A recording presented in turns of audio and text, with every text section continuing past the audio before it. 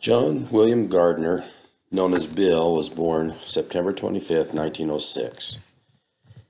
At the age of seven months, his mother passed away, his mother Nora, and her his father Brigham never remarried. So it was a lot of the um, things that his mother did was left up to his older sister, who was 13 years old, and that was Esther. At 18 years old, his next older brother Leslie was hit by lightning and passed away. At the age of 22, Bill, on the day after Christmas, 1928, married 16 year old Rose Lutz.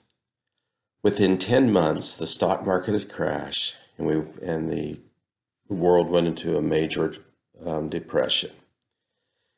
Four years after he'd been married, he, he and Rose had four children. With all the tragedies of his life, and all the business of his family life, and the multiple jobs which he held, how was he ever able to find time for other people? Well, I'd like to listen, have you listen to my mother, as Bill was known as a very kind man. One Sunday night, we were, we were in the house. We weren't watching TV because you didn't have TV then, but we were in the house, and this guy kept knocking on our door, and he said, I wonder if you could help me. I'm on my way uh, to get um, for a job. And uh, he says, I've been out of work for a long, long time, and if I don't get there by Monday morning, I'll lose my job. But my, my truck broke down, and I just need a way to get over to. So my dad went out and took all of these things off of his truck, put them on dad's truck, and drove him to St. Anthony, which is six miles away about, just about six miles away, and he was going to uh, work with the, in a reformatory for young, young boys.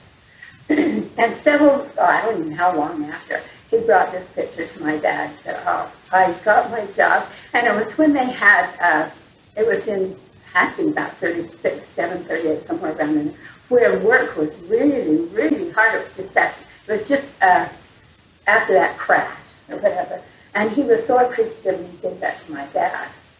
And, and he painted it? He, the guy had painted it and brought it to And I always hated the frame. And I said to my, I want to put a new frame. He said, oh no, the mm. frame goes with the picture. The picture.